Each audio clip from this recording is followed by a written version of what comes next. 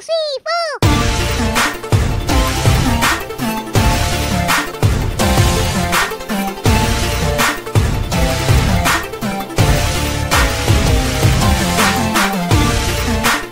Γεια σας! Το θέμα αυτού του βίντεο είναι η γλώσσα των κουνελιών μέρος 3.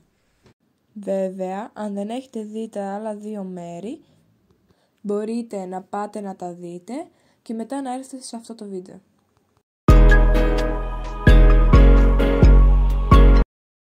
Τα κουνέλια συνήθως κάθονται δίπλα σε τοίχο ή σε μια γωνία του σπιτιού, αφού έτσι είναι δυσκολότερο να τα ευνηδιάσει κάποιο αρπακτικό ζώο.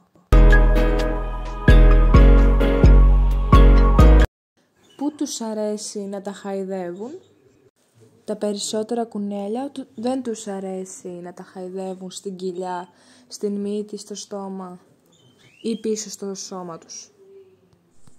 Αντίθετα, τους αρέσει να τα χαϊδεύουν ε, στο κεφάλι και ανάμεσα στα αυτιά.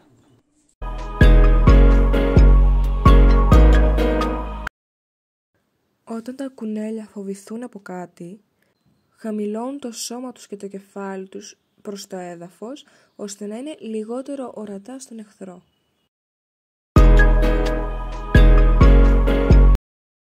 Όταν τα κουνέλια σπρώχνουν αντικείμενα με τη μουσούδα τους, σημαίνει ότι βρίσκουν κάτι νέο, κάτι καινούριο που δεν έχουν ξαναδεί και θέλουν να καταλάβουν άμα είναι επικίνδυνο για αυτούς και στο τέλος μπορεί ακόμα και να το παίξουν, να παίξουν μαζί τους.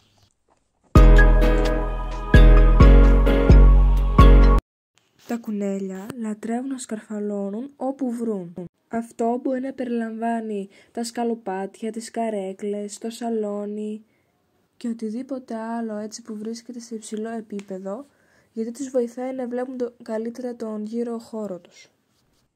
Αυτό ήταν το βίντεο. Ελπίζω να μάθατε κάτι που δεν ξέρατε και να σας άρεσε και τα λέμε στο επόμενο βίντεο.